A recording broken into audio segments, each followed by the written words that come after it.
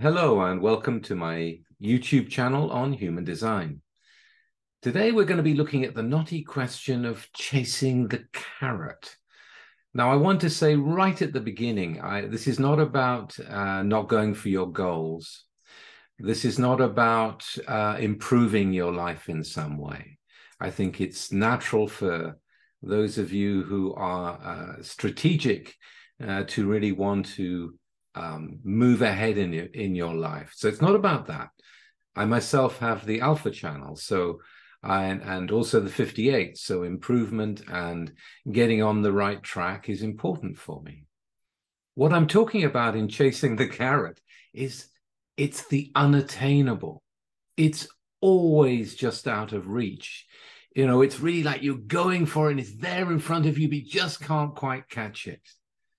And if you do catch it, it's never enough. Now, there's no point me talking about anything on a human design channel unless it's for your own self uh, examination. The whole point of these uh, these videos is to help you transform in your life because I'm here for transformation, and I'm also enjoying this.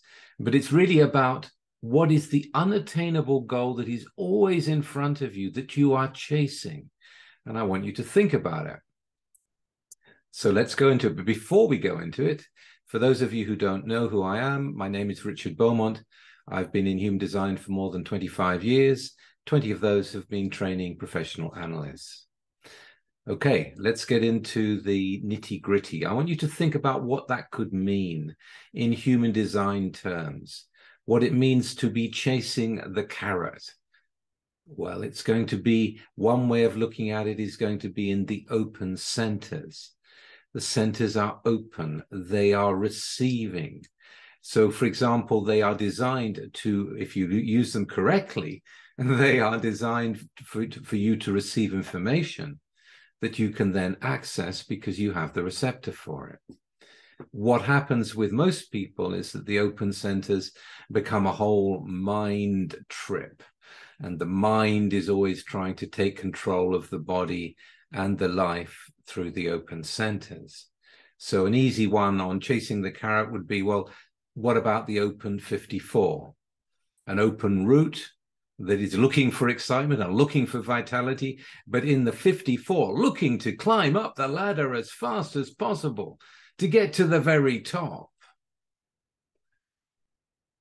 So I know people like this, and they are over ambitious and they strain themselves to the limit because of their over ambition and because of them finding it difficult to really relax. So think about the open 54, trying to get all the way up to the to the 45, trying to be the queen or the king, Think about the open root in the adrenal glands and the way that they get tired. They get very, very tired. This is the quickest way to exhaustion to be chasing something that is always out of reach. So let's say this 54 meets the right people, has the right opportunities, gets to the top, has their own business. Do you think that's enough? No there is always more. You know, those people that are that that came from not having much. I came from a, a, background where I didn't have a lot of money, and my family didn't have a lot of money. And for a while, that was my chasing of the carrot to get out of that, to get into a position where I had more material control in my life. But I'm not an ambitious person. I don't have the 54. I don't have a lot of tribe in me you know there isn't a lot that i'm really ambitious to achieve. There's nothing i really want. You know i i drive an old car because i love it. I mean i'm an individual. I, I i i buy things because i love them. And sometimes i need them. But on those kind of scales it's got to be a love. So it's not about getting the next model and the next model and this year's model and trying to keep up with something that is endless all the information that we're getting, or a lot of the information that we're getting through the media, is about the next best thing. I saw um, apparently it's a phenomena right now. You know, I, I can't hardly believe it. But Apparently it's a phenomena for people to buy a particular drink, you know, and it's a very expensive drink and they're all, you know, showing that, yes, you know, I can afford this drink. I'm drinking this drink. Aren't I great? No, you're chasing an endless carrot. When the drink goes out of fashion, you'll be chasing something else. I mean, it couldn't get any sillier. And where we want to see this primarily in the in the human design chart is going to be in the open will endlessly trying to prove to prove one's love to another to prove one's status in the community to prove one's success in business etc etc etc and it's never enough if you have an open will it's never enough this is endlessness in the open centers that will drive us to dysfunction. And it does. I mean, I've never seen so many distractions and, and people chasing this and that that are actually, to, to me, absolutely meaningless. Um, but then I don't really live in the world like uh, a lot of people do. I, I have my own alternate universe here. So I want you to think about that. I want you to think about what are you chasing? And then I want you to think about, well, when we're talking about the carrot, we're usually talking about the stick. So if there's only the carrot and there's no stick, what is pushing you? Yes, going for that, going, going and going and going and going. But behind it, there is often fear. So I want you to think about the fear and the fear that you may have in your own life while you're chasing your own particular carrot. Is anything driving you for that? Is there a real need? Is there a fear or is it an imagined fear? And when we're thinking about fear, we're thinking about the awareness centers and in particular the open spleen, you know, the fear of not feeling safe the fear of being vulnerable, wanting to get stronger. The same for the open sacral, wanting to become more powerful and more powerful and more powerful. I mean, open sacrals that become um, rich and powerful in the world, they a lot of them don't know when enough is enough, and it it gets really absurd, and the damage that they cause in the abuse of that power in order to get more power, in order to get more power. And I want you to think about it in the other way. I want you to think about the, the fixed sacral. And the fixed sacral is either frustrated or it's satisfied. And what is satisfaction? I remember um, uh, bringing uh, 16 Italians to England for an event I was doing for uh, Kindred Spirit magazine when I was running it. It was an it was a, a hell of a thing. I mean, like Italians, 16 of them. It's like herding cats, not an easy thing to do. And um, the subject matter was um, obscure and mystical, and I had no idea if it was going to work or not. But it did work. And I remember at the end of the event, I was sitting down in a chair, um, having a drink, relaxed. It was now over, and people were walking by, transformed. I mean, they were walking by saying, My God, that was amazing. And I was sitting there just with this sense of satisfaction. There was nothing to do, all the doing had been done. And I want you to think about that in terms of satisfaction. If you're a generator and you've had a really fulfilling life in terms of that day, now it doesn't matter what you're doing, it could be manual work, it could be intellectual work, whatever it is.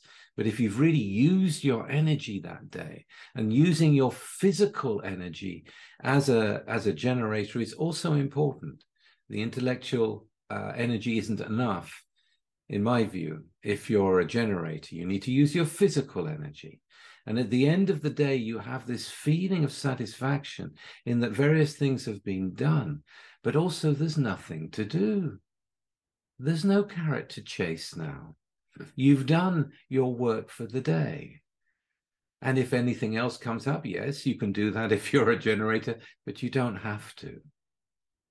I watch open sacrals in work and I watch them work and then they do their work and then they want to stop and that's it.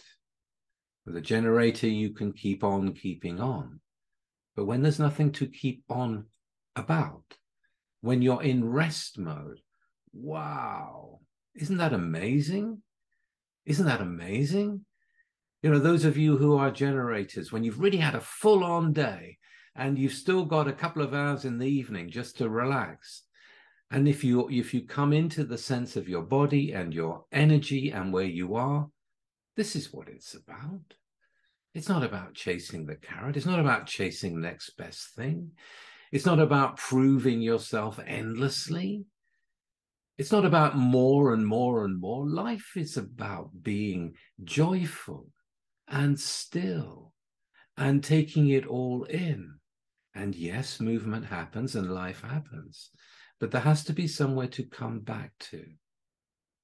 And the fear that may be driving you from your past or driving you from your um, your lack in some way, when that is over, when that is fulfilled, it's important to understand that we've got to just calm down and relax.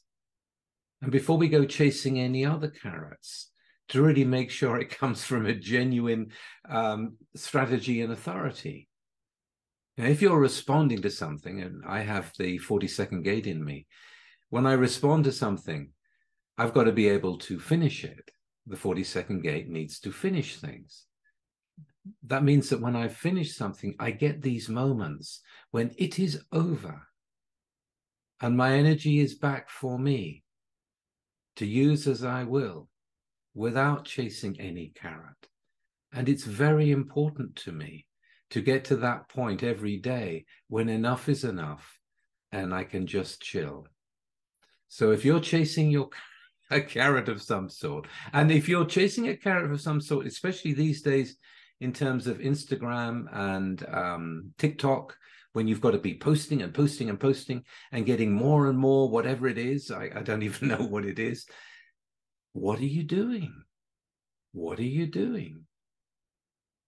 Are you trying to be the best?